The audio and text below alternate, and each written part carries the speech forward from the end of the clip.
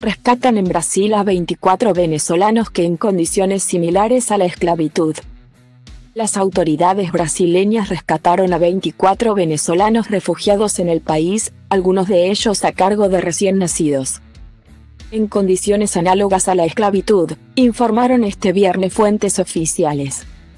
El grupo de inmigrantes era explotado en actividades para la construcción de alojamientos y depósitos. En Río do Sul, un municipio del estado de Santa Catarina, señaló el Ministerio de Trabajo de Brasil en un comunicado.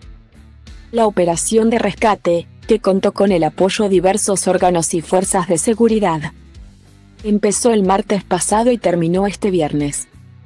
El coordinador del operativo, Joel Darcie, indicó que los venezolanos trabajaban en condiciones degradantes y en la más absoluta informalidad.